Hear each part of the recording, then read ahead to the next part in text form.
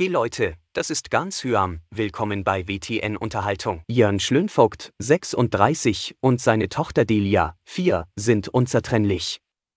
Bei Instagram postet der stolze Papa regelmäßig Fotos von sich und seinem süßen Nachwuchs und gibt Einblicke in sein Familienleben.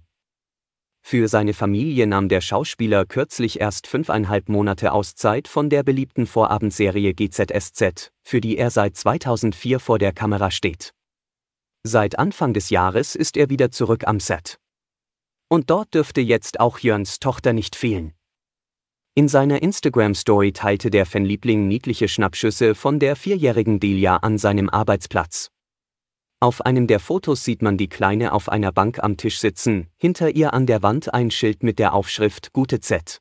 Hey guys, this is Gansham. Then subscribe our channel and press the bell icon and like our video and share with your friend and family. Thank you very much for watching our video. Thank you.